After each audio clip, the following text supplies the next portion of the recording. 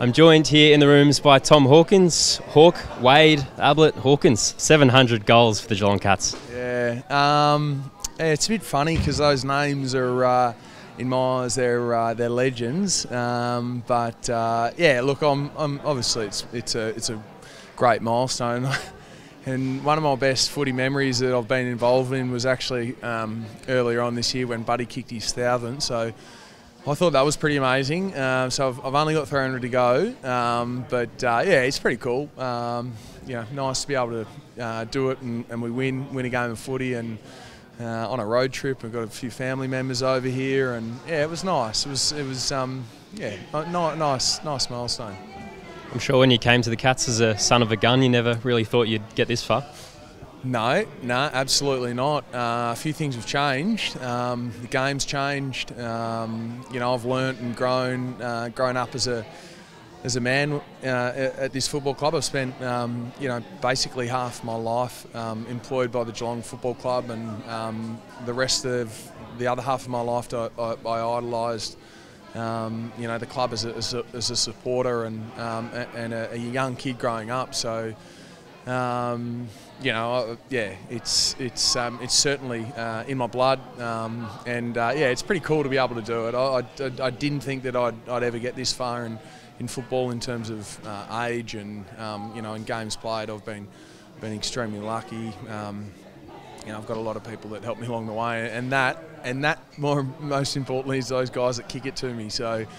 Um, you know, I'd love to know how many Joel Selwood and, and Mitch Duncan have, uh, have provided me over the years, and um, they continue to do it. So yeah, it was nice.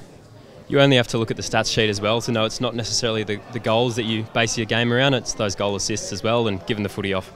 Yeah, well, I mean, I, I think I've, I've stated a few times publicly that it's just my philosophy on the way I play football. It's um, you know, people are in better positions, and, it, and I really enjoy that part of, of, of my game. But I also think that um, you know that that's sort of resonated through the group too. Like it's not, and that's that hasn't come from me, but that's just a, a philosophy that's that's um, you know it's ingrained into us as Geelong players, and um, I've played with players that are that are very selfless and continue to be very selfless. So it's it's a cool part of of, of the club. Um, you know, we're not not a a club. We've got some superstar players, but but we're not um, we're not defined by individuals. So um, it, it's uh, yeah, I, I, love that part of our game. We're starting to build a pretty dangerous forward line. Tyson Stengel was incredible up there today.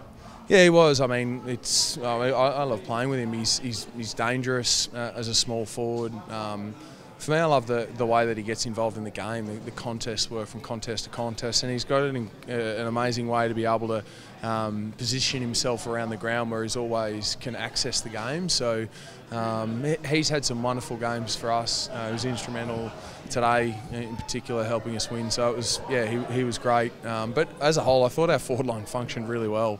Um, I thought we were organised, um, we communicated, um, and we're dangerous enough on a, on a pretty blustery day. The Eagles got a few back today, and it was a pretty hard fought game of footy. Yeah, it was. We, we knew that um, four premiership stars and um, you know very very high calibre players. Um, obviously, they lost Jeremy McGovern early, um, which sort of changed things for them a little bit. Um, but you know we knew that um, and were expecting their best football. I think they've uh, it's been well publicised how how uh, impacted by COVID and injuries they've been. so we, we expected them to play well. Um, certainly nothing. Um, so what they've produced early in the year when they were so injury depleted. So uh, great result for us. We're happy. Uh, fly home tonight. Uh, four points. Move on to the next week. Was it good to see Sam Menegola back striding up and down the wings? Absolutely, and um, you know we've come to know Sam to finish in front of goal. Um, that's that's what I love. His, his work rate. Uh, he, you know, he's tough, he's, he's uncompromising, and he goes forward and kicks goals, and that's what he did today. So, um, a nice little stepping stone for Sam. Sam, I, I think, um, you know, he'll continue to play um, more more time um, through the midfield and on the wing, and, and, and push forward and, and be a real threat for us. So, um, yeah, it was uh, it was great, great to get him back. The challenges keep coming. Richmond at the G next round. Yeah, they were really good um, the other night too. So um, yeah, another tough tough contest. Uh, a side that um, you know I think every, everyone right across the footballing landscape uh, understands they're a really, really tough side when they get things on their on their terms. A game against Carlton it was a slippery night, but they just controlled the footy really well, um, knocked it on and played played live, um, which we've come to know them play so well uh, as a brand of football in the last five six years. So uh, we expect them to be at their best, and we'll be preparing for them. And um, and I think they've clearly shown that they are playing their best football. Congratulations, Tom. Thank you. Cheers.